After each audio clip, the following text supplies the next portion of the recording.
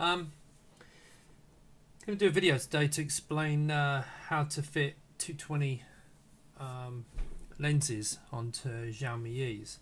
But I'm going to do two things on this. Um, as a lot of you are probably aware, the um, the Xiaomi's come with the uh, lens fixed, so the focus is fixed at what seems to be a selfie distance. So it's been focused for that reason, which for a lot of people that obviously is not good enough. So there's plenty of movies, uh, YouTube videos out there showing you how to do this, and so I'm going to kind of cover the same process because I'm rep- actually replacing the lens. I'm going to cover both.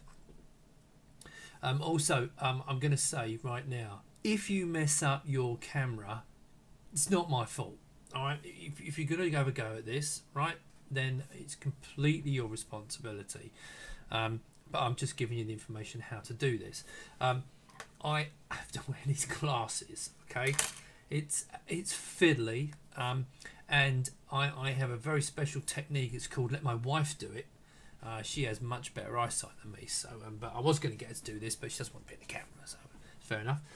Um, right, so um, let's uh, let's get started. See, I've got some bits. So let me just switch over. Hang on, right. So, oh, okay. Let's go back. It just shows. So, so the idea of this is, as you can see, I've got here the Brahma Duo, which is the two the two way camera rigs, and you can see underneath underneath me, you see there comes in a slim version and the standard version. You can see there the uh, standard version. The reason the cameras are, are, further apart is so that the cables, because the, the Xiaomi has the cables at the back. So if you want, we have a power supply adapter coming along, so you can set these up for some time. Um, and if you want to do that, then you need to get to the cables. I all my all my videos I've done so far, good or bad, you decide whether you like them or not. But we're done with the standard rig. Um, I'm going to be going away uh, and testing the slim one um, but uh, the results I've had wasn't much in it as far as stitching. Yes, I'm sure they will be better. Um, anyway, I'm digressing, so let's get into this whole um, what to do now. I've kind of in blue pit because I've got such bad eyesight. Well, it's not that bad, but you know, I've got reasonably bad eyesight. I've got one of my Xiaomi's. I was going to get Caroline to actually do one, and I thought, well, hang on a second. Now this is my rig. I don't want to destroy it. So what I've done is I've actually taken the cover. I'm not going to talk you through it, but not actually do it as such. But the, the, the, I'm going to show you the whole process, so it should be fairly clear. So let me switch. Hang on, let's get to a much better camera.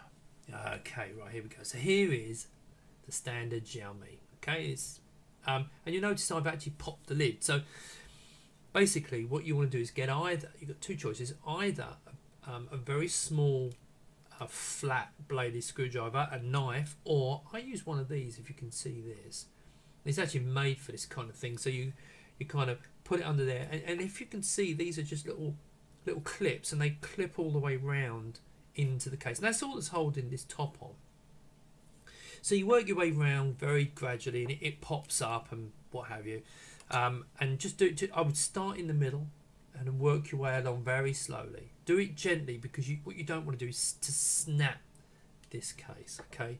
Because obviously it's got the button, you know, it's got bits. It's, it's not. It, it, they're fairly strong actually. I did actually break one of the clips on one of them, but um, let me get a bit closer.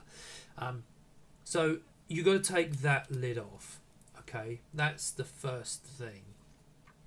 Um, so once you've got that off, we'll put that to one side for a moment.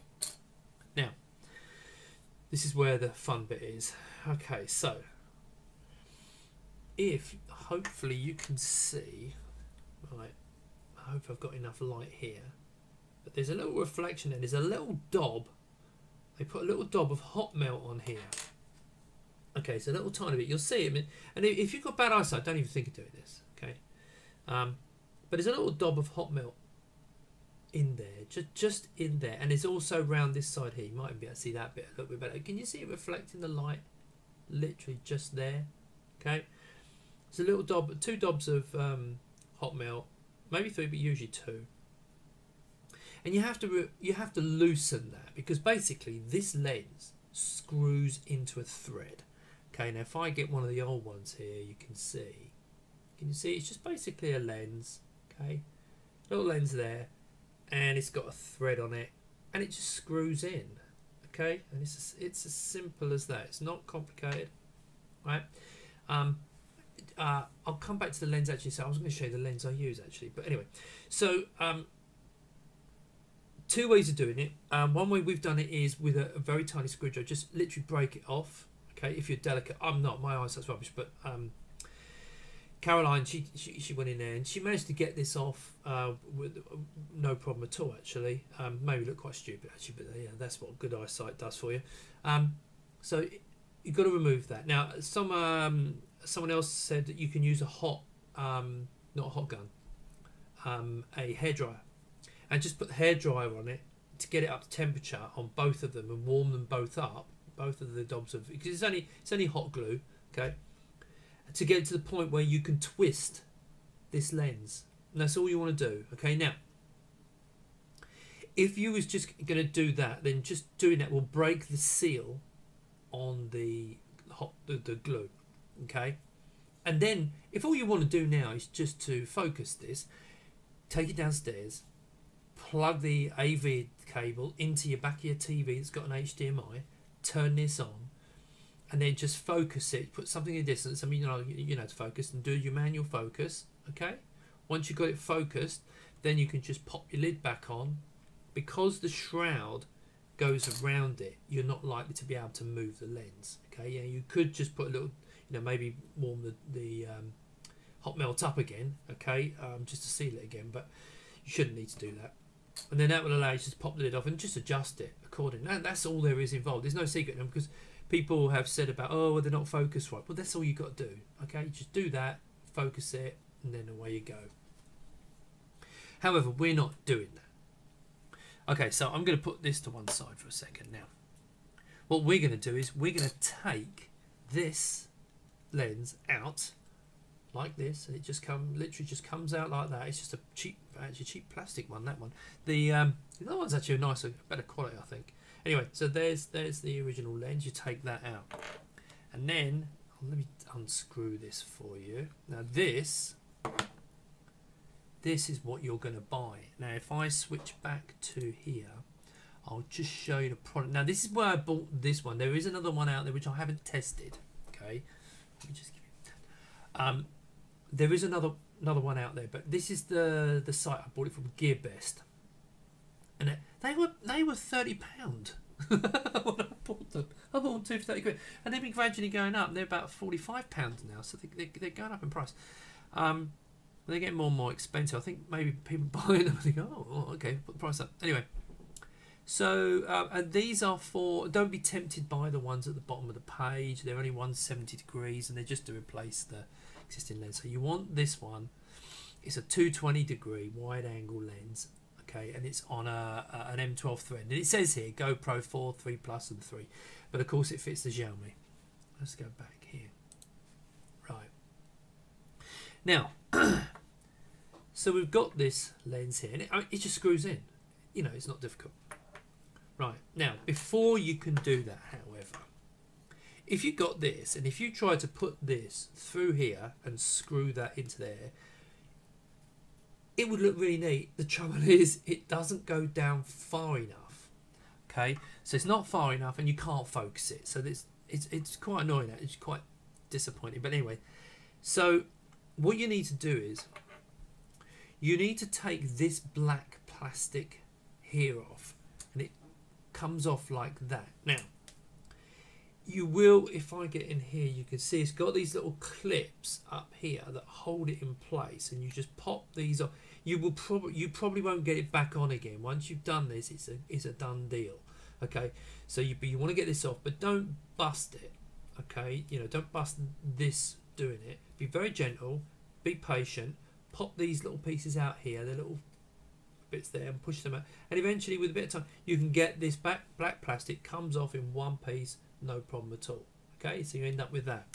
Now, what you end up with, which I should have taken this off actually, but what you do end up with them is pretty much that, but there's a load of pieces which I don't want to take them on apart, so I can't show you. But you end up with little bits of plastic. Can you see how rough that is? There's a load of bit of plastic that's these bits in here that goes up. And holds that black on. And you need to trim them off. But for God's sake, make sure you've got this away from the camera. Don't have anyone in the camera because you don't want any rubbish going in that hole onto the onto the sensor. Okay, so what you do is then you just want to um, cut these off. I would suggest a very very sharp, small little plastic cutters, but not when it's on the cut on the camera. Okay, when it's like that. All right, but just trim them off, etc., and just get it so satisfied. I mean, this is actually very rough. We, we haven't bothered tidying this up. Okay, now once you've done that, um, make sure there's nothing in there. Now, if I just blow in there, make sure there's nothing in there. You don't want anything on that sensor. Okay, that's very important. The next job then is literally I mean, all you do is just gently put the put the the lens in there and you tighten it up. Okay, and you hang on.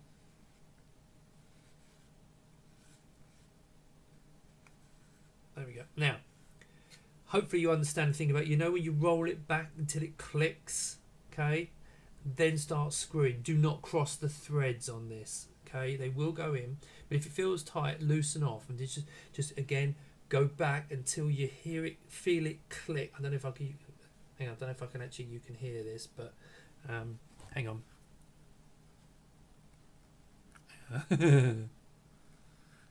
All right, take my word for it. So you're reversing the thread, going backwards until you feel it click and find so that you can screw this in with no problem at all. And then you just keep screwing it into the device and it go it will go down all the way. Now once you've done that and you've got that lens in there you then need to focus this. And again the way you do this is plug in the camera into a TV get something put your glasses on if you need them and then focus it the way you want it focused and that's very important now this is where you get to laugh laugh your, your, your belly off a little bit um, it is a bit untidy here, okay? I mean, you know, but there's also holes there, okay? And there's also the fact that the lens is going to move. Yeah, let me turn around. The lens, the lens can still turn, and that's absolutely no use to you. So, we came up with the um, the high tech version. It's called these three rubber bands, okay, which are not there now. There they go. Three little rubber bands, okay. And when you put the rubber band over the top, like this, it's got to be quite small. So basically, it's got to be smaller than the, the, opening. And then you pop that over there. Now you put one on there. Can you see that's? I mean, that's actually sealed. Okay, now these are not very good ones. These actually, I need slightly thicker ones than these, and you could do it with one. But what you find is that that lens is now pretty much held in place. So what I do is I put one or two more on Okay. Yeah. And now those elastic bands are holding that in the focus position. Yeah. Won't go anywhere. And also it's keeping the crap out of the holes. Now I know it's a tacky tacky little way of doing it, but it works and it works very well. But choose your elastic bands well. Um, when we um, do them, we are going to be putting these together for people. We, this is what we're going to do, but we're going to get better elastic bands, we, get better better rubber, etc. We just get something that pops over there, solid. Now, the good thing about that is, all I have to do is if I want to refocus it, I mean, I can just take two off. Let's just oh, let me do it that way. I can just take it off again. Yeah. Unscrew it.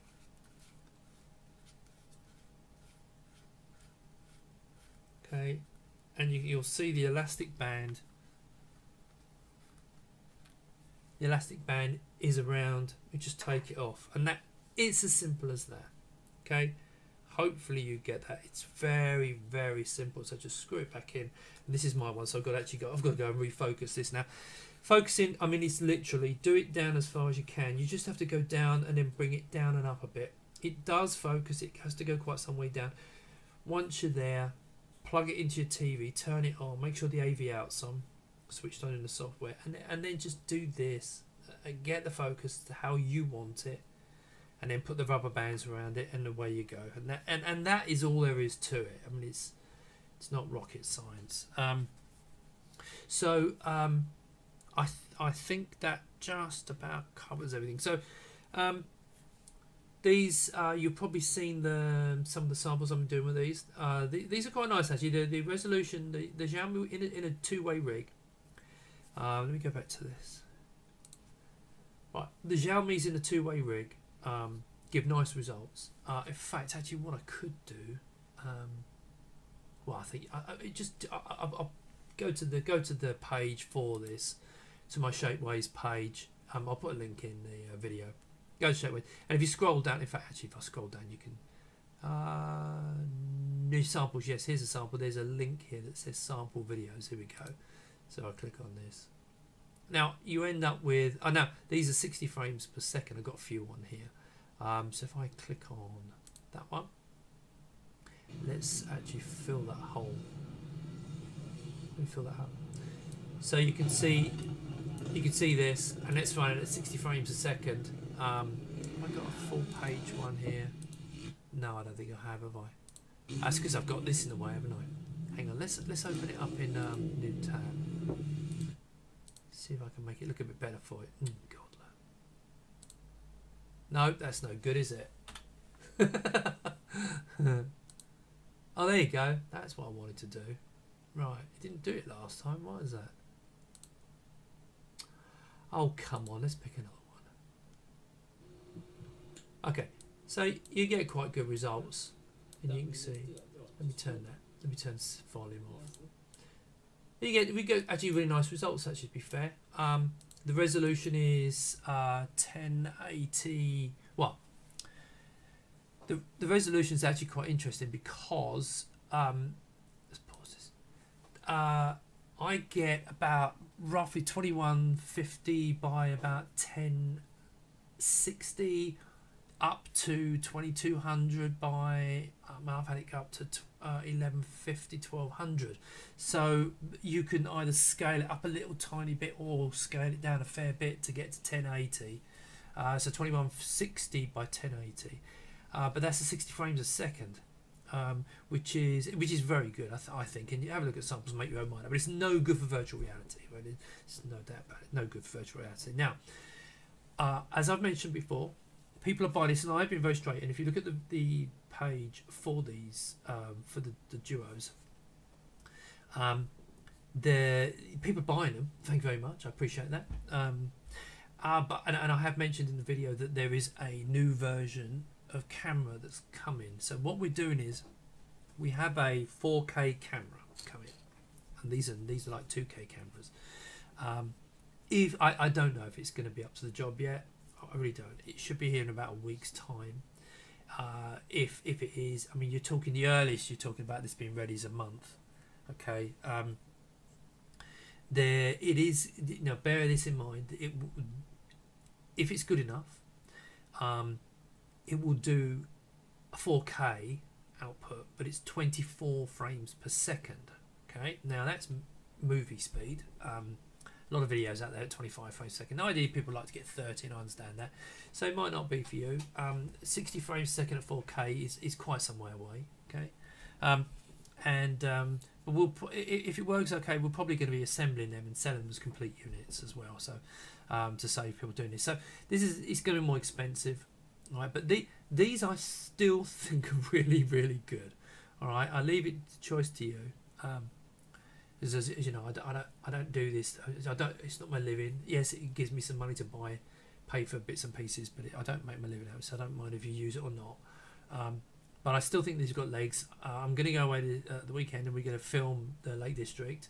And I'm going to do. The one thing I think this is actually really, really good for, and I've not seen anyone do it yet, and I'm going to do it the weekend, is using the, the, the snapshot mode to take photographs so, um, and then do slideshows of photographs. Now, bearing in mind, the video I record to get the resolution we have is uh, 1600 by 1200, which is pretty damn good, and that's at 60 frames a second. But this can take snapshots of 4,500 by about 3,500. So you're going to get a huge resolution for photographs, and there's great potential here for panoramic photographs in headsets like literally probably coming in the 6K region. Now it's a photograph, which means you haven't got to worry about decoders. So I think there's a lot of potential there, and and this camera can do it. So no one's done it as yet. No one's, and I'll probably I may be the first that actually does it, but who knows? Um, but it's I think it's worth having a look at. So um, anyway, there you go. So now you know how to do it. Um, as I said, if you do yours and break it, I did warn you. Right? You know, don't do if you've got bad eyesight. If you've got bad eyesight, it's a bad idea. Um, I, I started doing it and I just couldn't. And thankfully, the wife, I said it'd probably take her half hour. She did it five minutes. Quite embarrassing, but there you go. Right, so that's it really. Um, uh, any questions? Come back to me. Um, and thanks so much.